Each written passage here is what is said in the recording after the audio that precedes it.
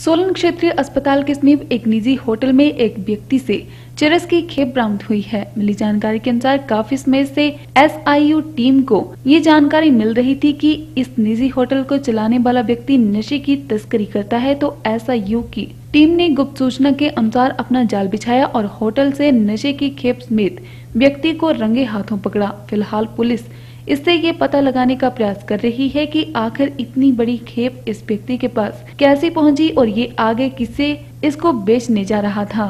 पकड़े गए व्यक्ति से भारी मात्रा में चर्च बरामद की गई है। आपको बता दें कि पकड़ा गया आरोपी अस्पताल के समीप ही होटल और ढाबा भी चलाता है। इसी होटल की आड़ में ये सारा गोरख धंधा चल रहा था। अतिरिक्त पुलिस अधीक्षक अशोक वर्मा ने बताया कि पकड़ा गया व्यक्ति विकास कुमार जो अस्पताल रोड पर होटल चलाता है, जिसके बारे में पुलिस को कई दिनों से गुप्त सूचना मिल रही थी तो पुलिस ने अचानक होटल पर रेड की और आरोपी व्यक्ति से करीबन दो किलो चौदह ग्राम चरस बरामद की है। पुलिस ने आरोपी के खिलाफ एनडीपीएस एक्ट के तहत मामला दर्ज कर लिया है और आगामी कार्रवाई अमल में लाई जा रही है। इस केस से ये साबित हो गया है कि सोलन में नशे का काला कारोबार अपनी जड़ें लगातार गहराता जा रहा है।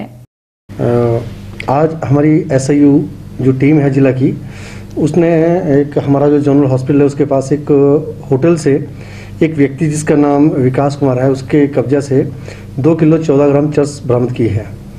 और इसमें चर्स बरामद करने के बाद पुलिस ने जो है वो थाना सदर में एनडीपीएस एक्ट के तहत मुकदमा दर्ज कर लिया है और जिसका अन्वेषण किया जा रहा है। इसके लिए हमारे थानों से जो हमने स्पेशल टीमें बना रखी हैं, जो स्पेशल इस नशे, नशाखोरी पे ध्यान दे रही हैं और हम आए दिन जो है एनडीपीएस के तहत मुकदमे दर्ज कर रहे हैं एक्साइज एक्ट के तहत मुकदमे दर्ज कर रहे हैं और इसमें और भी आगामी सख्त कार्रवाई लाई जाएगी।